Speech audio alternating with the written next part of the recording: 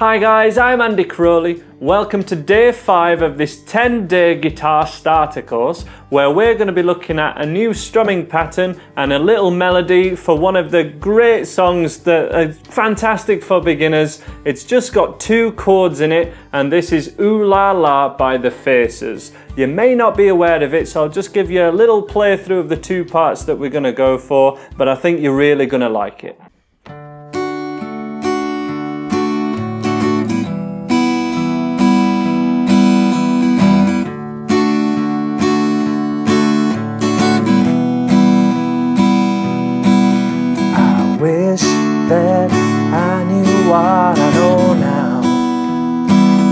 Was younger, I wish that I knew what I know now. When I was stronger. So that's the chorus and that's the little rhythm part, and then we have this lead part.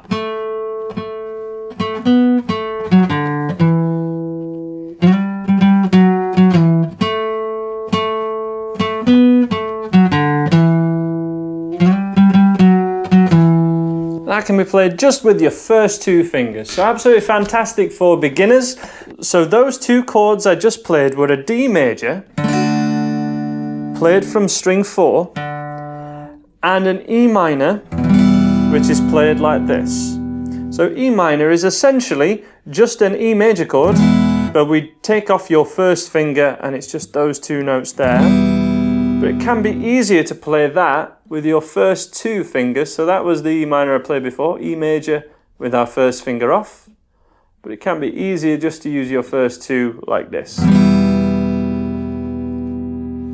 And the strumming pattern that I used was playing the root note, so the lowest note of the chord, otherwise known as the bass note, um, and then strumming, which I kind of nicknamed Bob Dylan style folk strumming. So that's root note, the D, and then strumming the thinnest four strings. And we do that um, four times of each. So it's two bars. One, two, three, four. One, two, three, four. And then change to the E minor, where the root note is now, on the thickest E string. One, two, three, four. One, two, three, four. And that just repeats for the whole song. So one, two,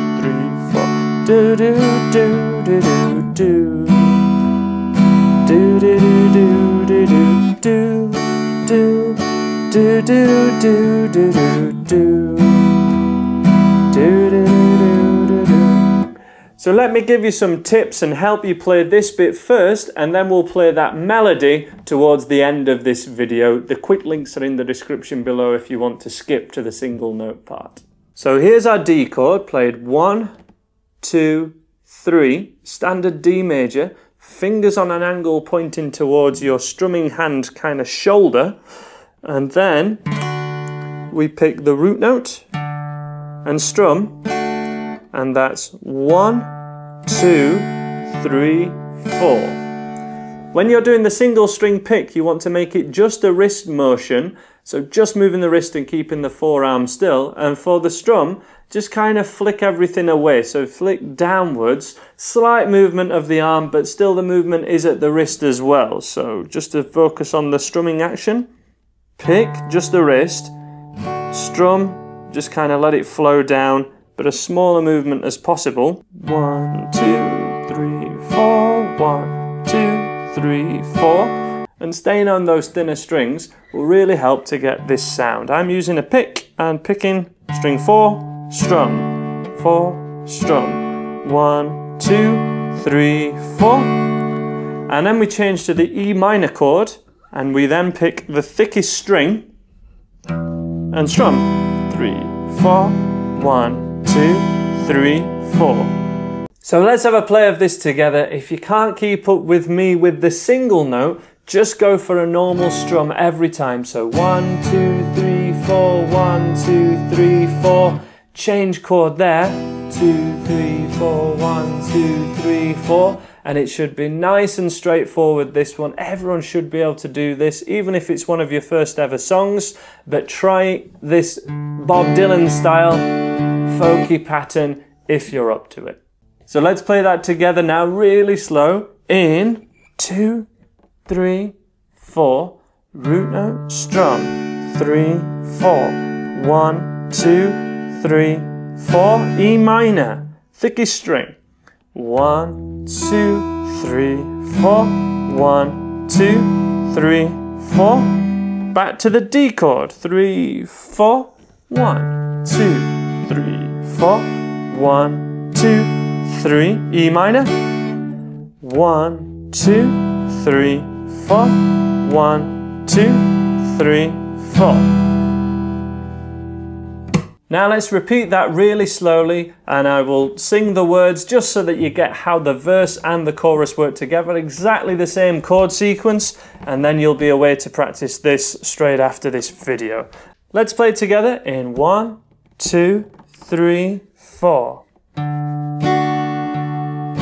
One, two, change chord. One, two, three, four. One, two, change to D. D, two, three, four. One, two, three, four. One, two, three, four. And now we start the verse.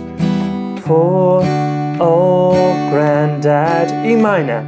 I laughed at all his words.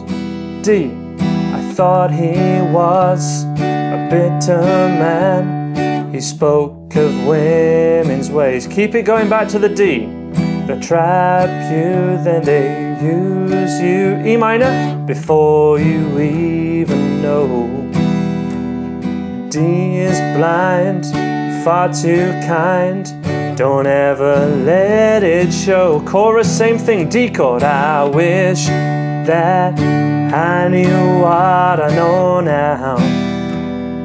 When I was younger, I wish that I knew what I know now. When I was stronger, and pause there. From there, it is just a loop from exactly what you've done. So if you could keep up with that, fantastic job. If you couldn't, pause this video now, have a quick practice, then rewind and have another go along to me. But we're going to move straight on now and move uh, onto the lead line, which kind of follows the, uh, the chorus pattern, at least in a rhythm point of view. Wish that I knew what I know now when I was younger.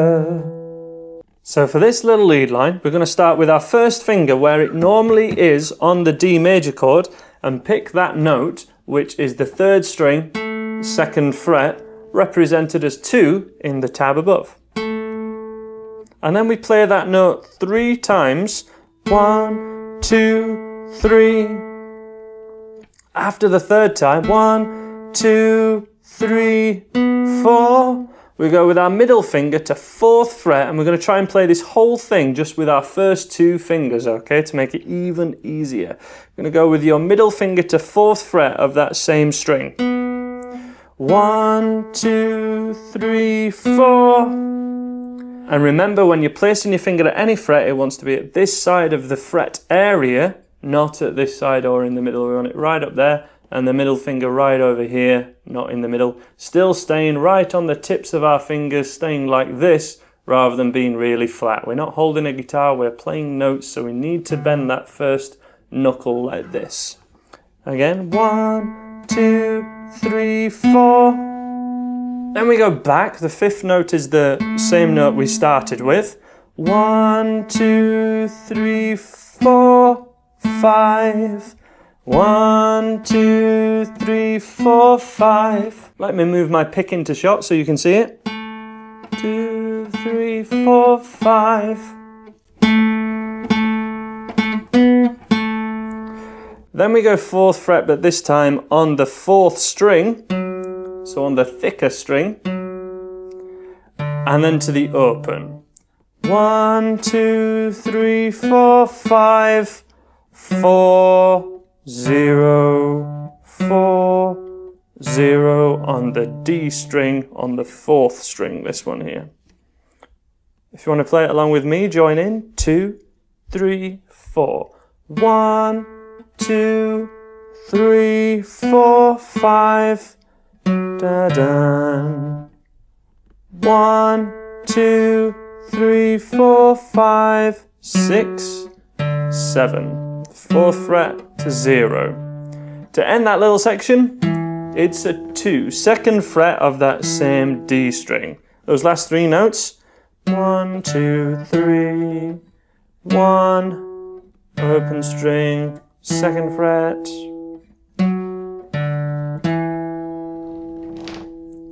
From the top, three, four,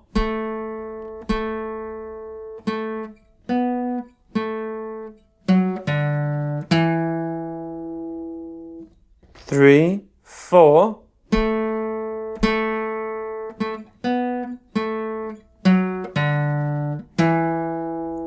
And that's certainly the main part. That should be recognizable if you listen to the song as that particular song. This is what a riff or a lead line does. It makes a song recognizable. A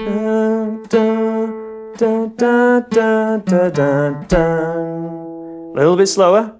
Three, four.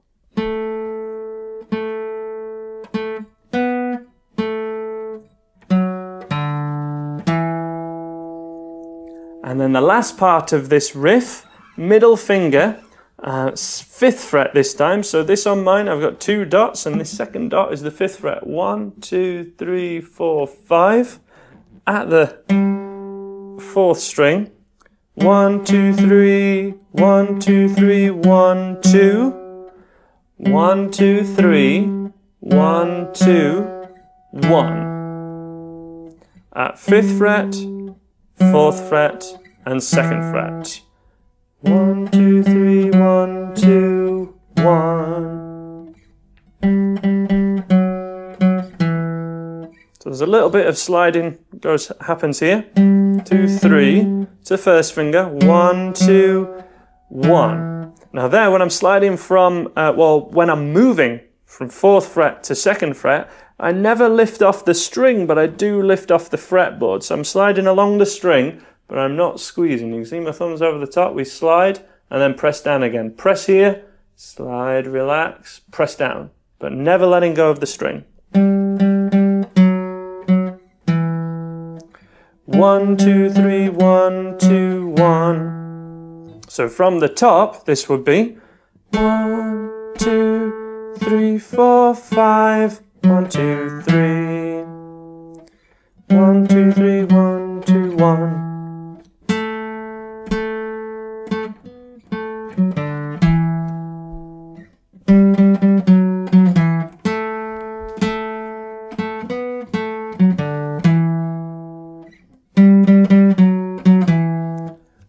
Really slowly now, last time, let's play this together. Give this a really good go, guys. This is towards the end of the video. This is the last thing. We can do this.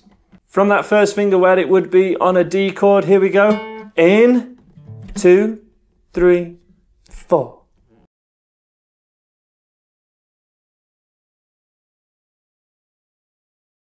End part.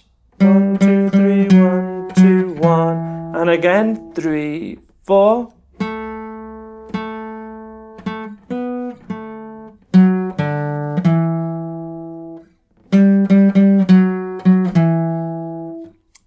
Stretch wise, if your fingers are on an angle, it will be easier, or you can go with your third finger for these notes.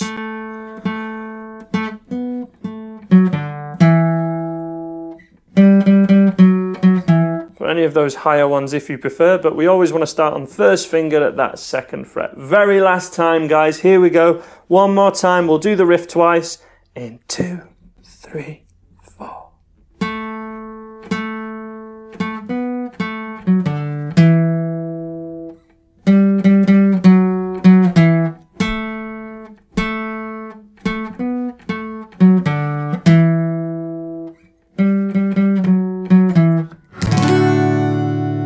there's our song. So that lead line goes over the rhythm part that you've just learnt.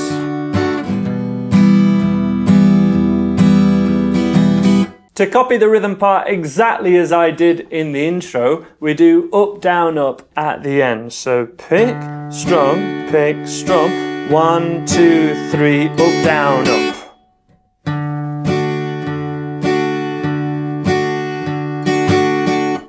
Now that does make it much more difficult because that's where we change chord. So I'm not expecting everyone to be able to do that, but if you needed an explanation of it and a demo, here it is one last time. Really slow. Three,